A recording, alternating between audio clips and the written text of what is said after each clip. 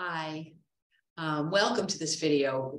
We're going to be studying um, or reviewing actually the basic probability that um, we learned in chapter four. So it's just basic probability. We'll be using um, the formulas on the formula card, and these are the kind of problems that you know are to be expected on quizzes and tests. All right, so I have here a two-way table. Um, and for um, notes here, a veterinary practice has three offices, one rural, one urban in an urban community, and one in a suburban community. The number of pets at each of their clinics for a week is presented below. This is the number of pets seen. Okay, and so they saw cats, dogs, reptiles, fish, birds, horses. All right, and each, this means that in the rural clinic, there are 123 cats that were seen. Okay, so let's check out first couple of questions. Um, if a pet is chosen at random, are urban and horse mutually exclusive? So let's go and find urban, urban, and horse, right? So I'm just going to circle that, um, that cell in the table, and we see that there are no, if we know, you know, um, that if it's an, there are no horses seen in the urban office. And so what that means is that urban and horse are mutually exclusive because if you know for sure that your pet is an urban pet, then you know for sure it's not a horse. So if a pet, so the answer is yes, mutually exclusive because zero pets are urban and horse.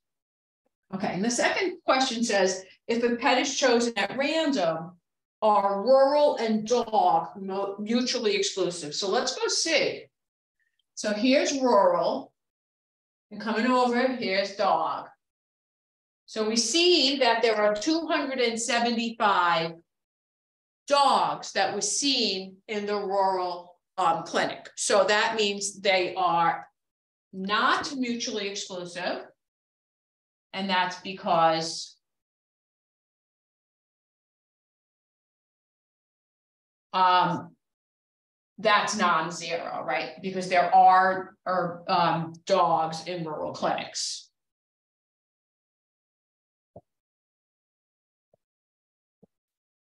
Dogs in the rural clinic. And just a real quick reminder here, this is an example of not mutually exclusive, and this here is an example of mutually exclusive. So that brings us back a little bit to the Venn diagrams. Okay. Okay, so moving on to um, question C. If a pet is chosen at random, find the probability that the pet is from the rural clinic. Okay, so this is um, pet is chosen at random. What is the probability the pet is from a rural clinic? So this is going to be the probability of rural is equal to, so the denominator we're choosing from all the pets that were seen. So pet is chosen at random from all the pets seen. Um, okay, so the denominator is all the pets that were seen, 1,236. And the numerator is um, the number of pets seen in the rural clinic, 74. And on the question sheet, it's asked for us to represent the answers to two decimal places. That's 0 0.38. Okay, so for part D, if a pet is chosen at random, find the probability the pet is a dog. So again, we're, we're choosing from the, all the pets the pet is chosen at random from all the pets that was seen to, that's actually how it's stated on the, on the question sheet. So the probability of a dog is going to be, so it's seen from all the pets. So the denominator is one, two, three, six. And we have to look at the total number of dogs. We have 660. And then that is 50, 0.53. 53% of the pets that are seen are dogs. Okay.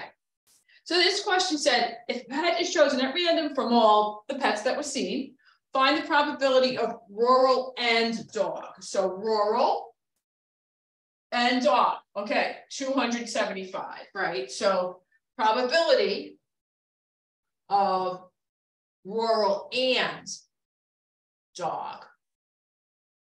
Okay, and that's going to be the denominator. We're choosing a, a dog, a pet from all the animals that had been seen.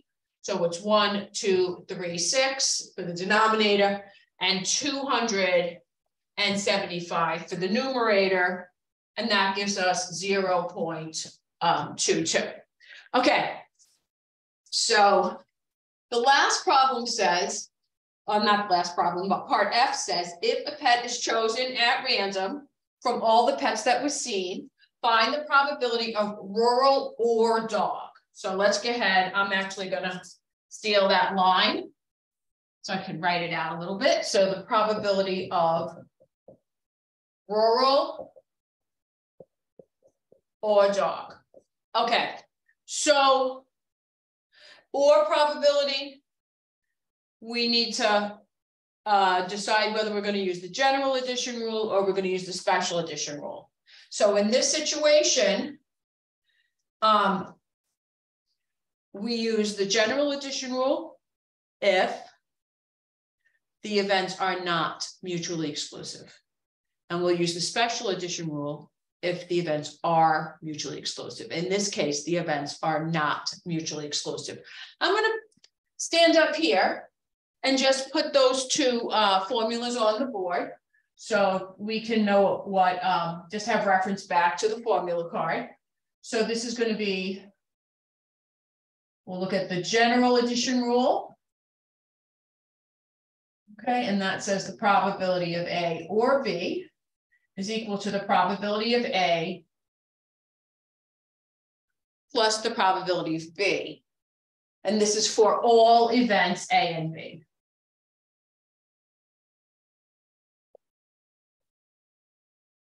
Okay, and then the special addition rule says, so it's a, only, this is only for the A and B that are mutually exclusive. So if A and B are mutually exclusive events, the probability of A and B is equal, um, I'm sorry, rather, the probability of A or B is the probability of A plus the probability of B. Okay, so because rural and dog are not mutually exclusive, we cannot use special addition rule, which is just a little easier numerically, but we're going to use the general addition rule. Okay, but write that um, general addition rule out, and then we can substitute in and get to the probability. So we're looking for the probability of dog.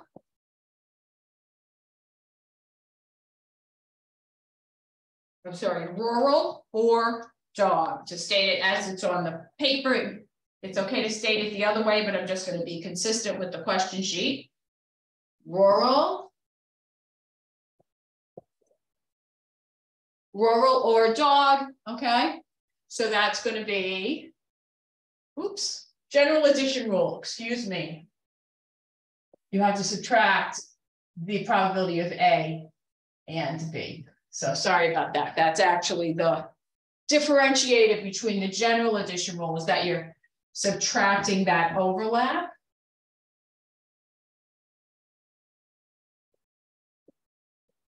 So the probability of A or B, which is that whole area, is the probability of A plus the probability of B. And this piece here is the probability of A and B.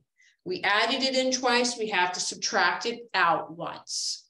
Okay, so that each of the three parts of the Venn diagram only are contributing once to our probability calculation.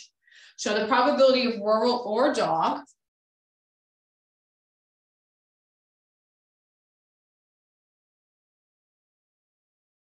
is going to be the probability of rural plus the probability of dog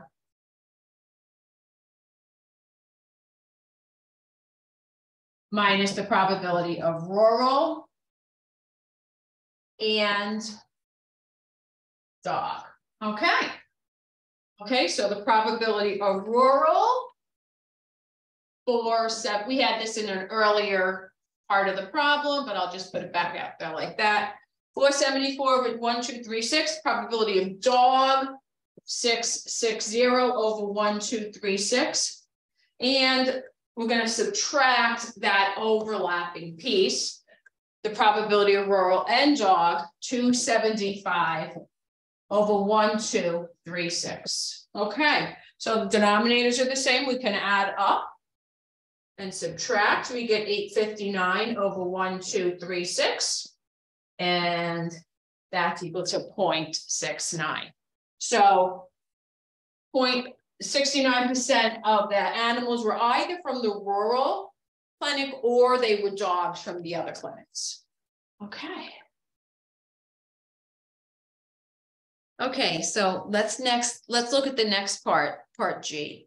If a pet is chosen at random from all the pets seen, find the probability that the pet is a dog, given that the pet is from the rural clinic.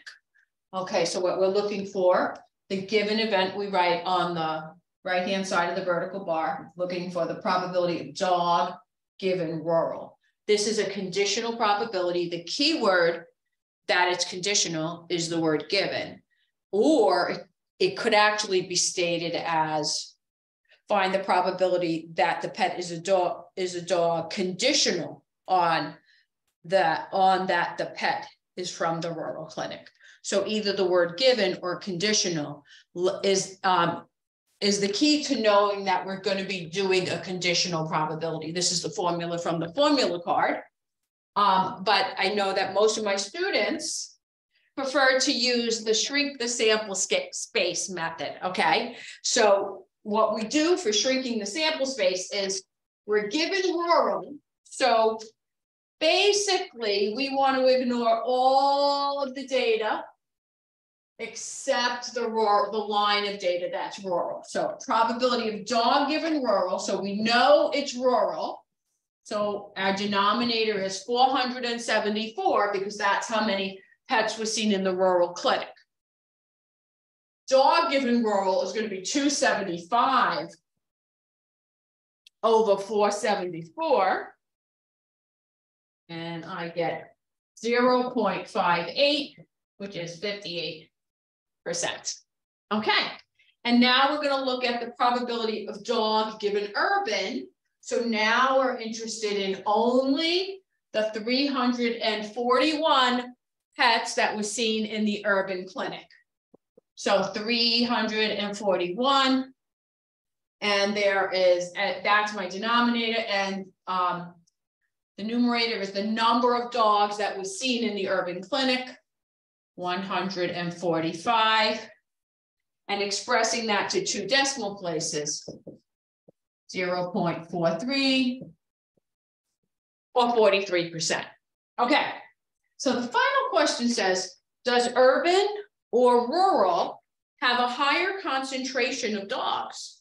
So what we saw was the percentage of pets from the rural clinic that are dogs is 58%.